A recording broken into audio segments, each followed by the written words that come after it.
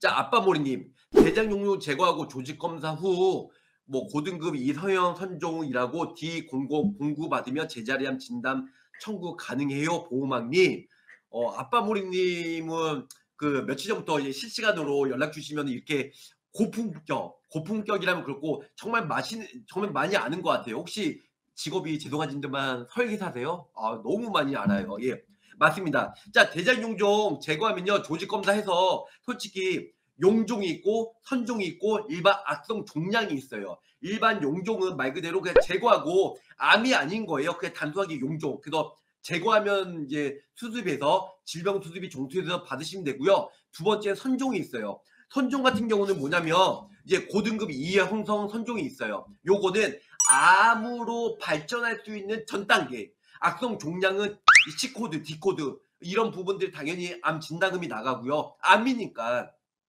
그런데 일단 선종, 선종 같은 경우는 고등급 이형성 선종이 있어요. 이 부분은 일단은 D12, D12가 양성 신생물이거든요. 그런데 여기 아빠 모리님처럼 D00서부터 09까지 예, 이 진단을 받으면 제자리암 진단금을 받을 수가 있습니다. 그래서 유사암이죠. 갑기경제 예, 갑기 경제니까 갑기 경체 제자잖아요. 제자리암. 갑상선암, 기타 피부암, 제자리암, 경계성 종양. 그래서 일단은 제자리암에서 진단금을 받으실 수가 있습니다. 그래서 제가 말씀드렸자, 말씀드렸잖아요. 좀 전에 일단은 요즘에 유사암, 생명보험은 소외, 소외감이라고 하죠. 그 다음에 손해보험은 유사암이라고 하는데 가입 즉시 면책기간, 그 다음에 가입 즉시 이제 그 뭐 면책기간, 감액기간이 없는 보험 안보험으로 가입을 하시면 이 부분에서 보험금을 받을 수가 있어요. 네, 그래서 이렇게 하시면 되고요. 그런데 어떤 의사는 D00서부터 D09까지 진단을 해주고 어떤 사람은 D12로 진단을 해줘요. 그러니까 그거는 의사마다 틀려요.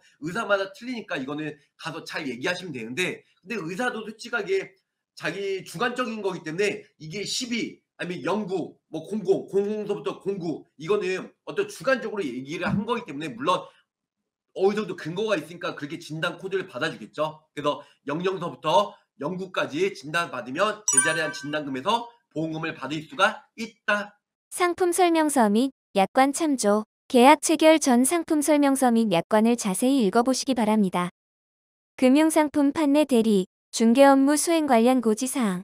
본인은 프라임에셋 보험 대리점 설계사로 해당 상품에 대해 충분히 설명할 의무가 있으며 가입자는 가입에 앞서 이에 대한 충분한 설명을 받으시기 바랍니다.